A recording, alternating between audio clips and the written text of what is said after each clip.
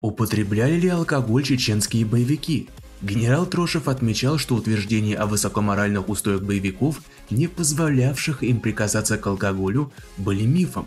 Часто чеченские бойцы шли в бой не только пьяные, но и употребившие наркотики. Константин Масалев из «Бешеной роты» в своих воспоминаниях тоже указывал на это. Однажды после удачного штурма Бамута одна из огневых точек все никак не умолкала.